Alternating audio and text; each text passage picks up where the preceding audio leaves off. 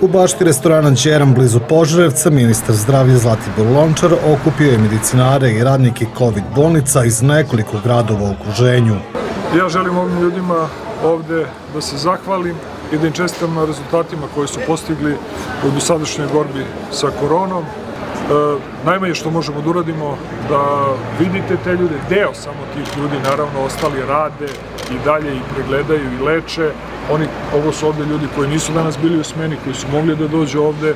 Ministar inače medijima danas otkrio da je u Srbiji COVID-om trenutno zaraženo 260 zdravstvenih radnika, od kojih je njih 13 na bolničkom lečenju.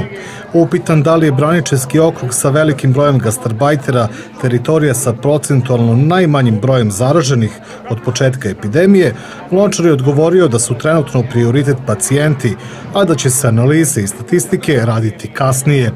On je imao poruku za sve one koji se vraćaju iz inostranstva. Slučajno ako osete neke simptome, da, da bilo šta da se pregledaju, da se jave lekaru, da se izoluju, da, prenose, da ne prenose drugu. To nam je izuzetno, izuzetno bitno. Pogledajte šta se dešavalo i po Nemačkoj i po drugim zemljama kada su se vraćali iz nekih. Nemojte da to dozvolite. Hajde jednom da naučimo na tuđim primerima da ne moramo stalno mi da udarimo prvo glavom u zid pa da vidimo da je to bio zid. Među zidovima letnje bašte restorana u kome je održan skup, ministar se nije duže zadržavao zbog poslovnih obaveza. Nije poznato koliko je tačno ljudi danas bilo prisutno na prijemu, koji se, kako je bilo naglašeno pozivu medijima, priređuje uz sve mere zaštite.